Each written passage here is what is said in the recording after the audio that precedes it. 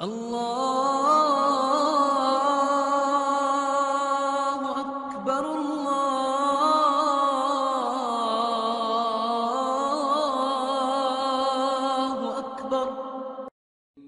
वक्त याद करो जब मूसा ने अपनी कौम से कहा था कि अल्लाह तुम्हें हुक्म देता है कि तुम एक गाय जबा करो। वो कहने लगे, क्या आप हमारा मज़ाक बनाते हैं? मूसा ने कहा, मैं इस बात से अल्लाह की पनाह माँगता हूँ कि मैं ऐसे नादानों में शामिल हूँ जो मज़ाक में झूठ बोले। उन्होंने कहा कि आप अपने रब से दरखास्त कीजिए कि हमें साफ़ साफ़ बताए कि वो गाय कैसी हो। उसने कहा, अल्लाह फरमाता है कि वो ऐसी गाय हो कि न बहुत बूढ़ी हो, न बिल्कुल बच्ची, बल्कि इन दोनों के बीच बीच में हो। बस, अब जो हुक्म तुम्हें दिया गया है उस पर अमल कर लो। कहने लगे, आप अपने रब से दरखास्त कीजिए कि हमें साफ़ साफ़ बताए कि उसका रंग कैसा हो। मूसा ने कहा, अल्लाह फरमाता है कि वो ऐसे तेज, जर्द रंग की गाय हो जो देखने वालों का दिल खुश कर दे।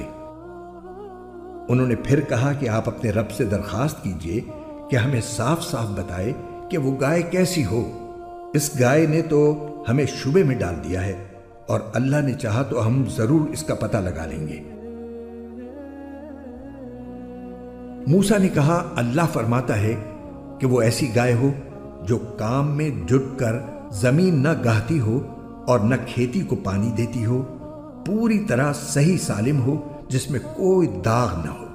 उन्होंने कहा, हाँ, अब आप ठीक ठीक पता लेकर आए। इसके बाद उन्होंने उसे जबा किया, जबकि लगता नहीं था कि वो कर पाएँगे। और याद करो, जब तुमने एक शख्स को कत्ल कर दिया था और उसके बाद उसका इल्ज़ाम एक दूसरे पर डाल रहे थे। और अल्लाह को वो राज निकाल बाहर करना था जो तुम छुपाए हुए थे। चुनाचे हमने कहा कि उस मकतूल को उस गाय के एक हिस्से से मारो। इसी तरह अल्लाह मुर्दों को ज़िंदा करता है और तुम्हें अपनी कुदरत की निशानियाँ दिखाता है ताकि तुम समझ सको।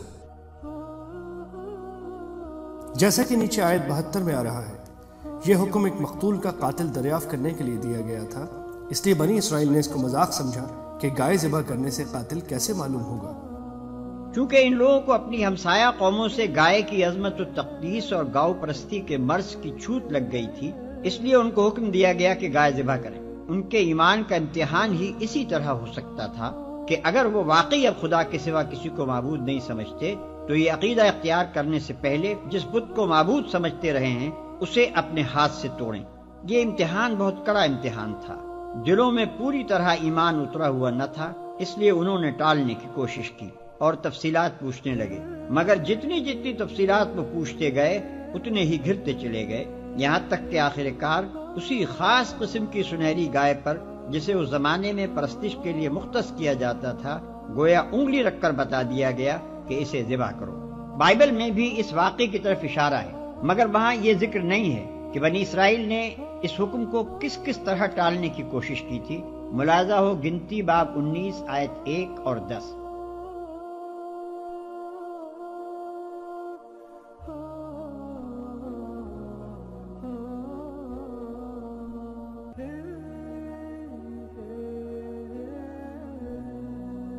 मतलब यह है कि शुरू में जब उन्हें गाय ज़बा करने का हुक्म हुआ था तो किसी खास किस्म की गाय नहीं बताई गई थी।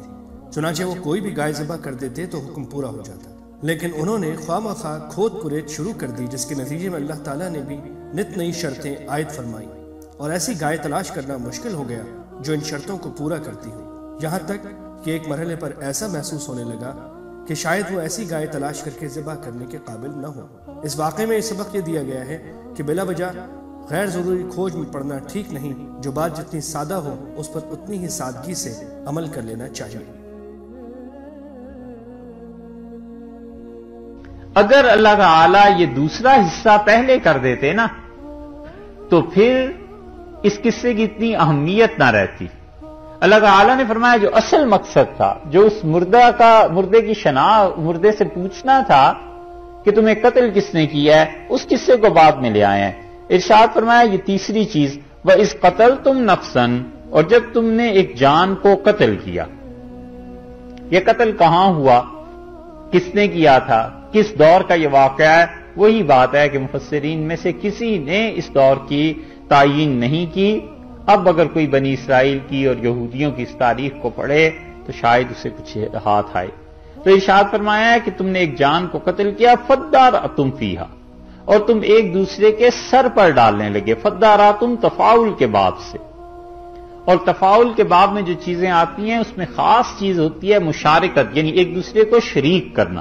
तो मतलब यह हुआ कि तुम कत्ल के इल्ज़ाम में एक दूसरे को शरीक कर रहे थे। फद्दारा तुम तुम एक दूसरे के सर पर डाल रहे थे। वो कहते थे, इसने कत्ल किया ये कहते थे, उसने कत्ल किया है।